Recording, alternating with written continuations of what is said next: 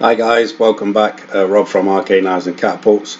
So today we're going to um, make some bottle openers. I've already made the template for it uh, from a design I saw online and basically with this we're using up any scrap pieces of steel left over from any knives that we've made in the past.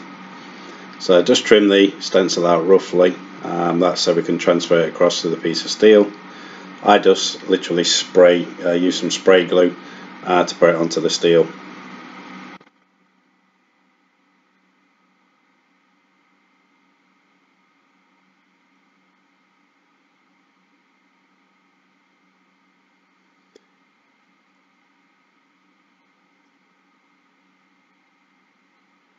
So here, all I'm doing here, I'm just going to clean up the piece of steel. It's a piece of O1 tool steel, so it is hardenable.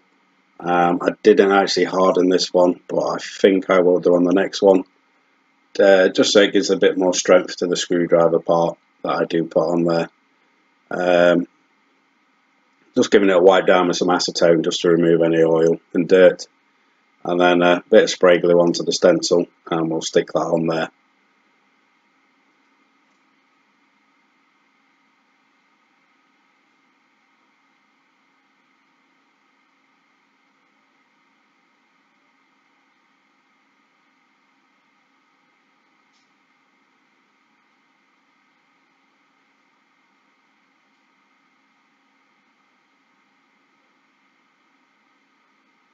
So there we go, that's the, uh, the stencil uh, template put onto the steel.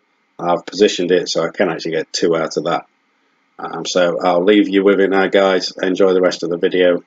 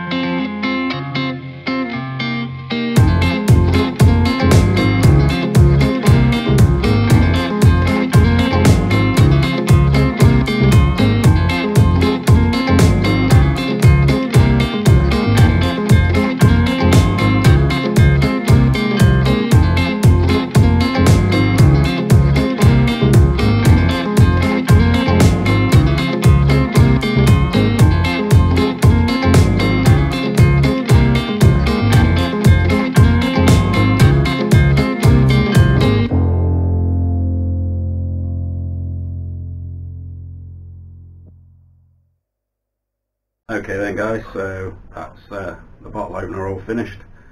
Uh, I've just literally just put a bit of a satin finish onto it. Um, don't really need a high high gloss finish on there. Um, so there we have it. Uh, all the edges are nicely contoured, so it's not sharp or anything. So you've got your little bottle opener and then like screwdriver pry bar on the end of there. Uh, if any of you are interested in any of these, uh, just drop me a message, um, a DM, and uh, yeah, I'll have a chat with you about it. That is the standard size. If you did want it a bit bigger, I'm sure we can uh, we can sort that out, not a problem.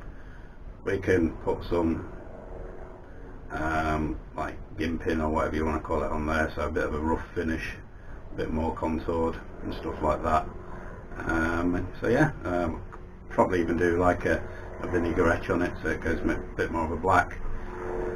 And uh, yeah really enjoyed making that. Um, it actually felt good to make something different for a change. I've got the pieces of steel roughly cut out for the Tanto and the Kiridashi and uh, I will get on to profiling those uh, very soon